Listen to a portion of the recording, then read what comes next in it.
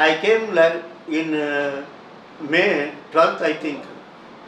I joined here for my diabetes, uh, uh, ulcer and other things. There are two persons here. One is Geeta the Great and the Charan the Ram, principal pillars of this uh, entire uh, this thing.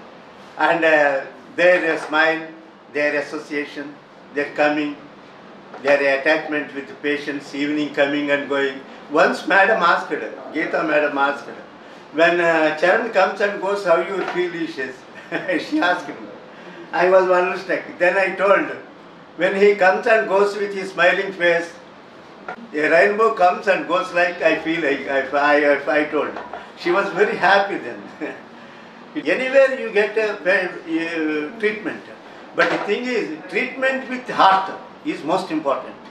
That is, with this, BeLeaf is relief. Being relief is most important uh, in life. This is the best ho- hospital whichever gives maximum importance to the patients. Thank you, sir.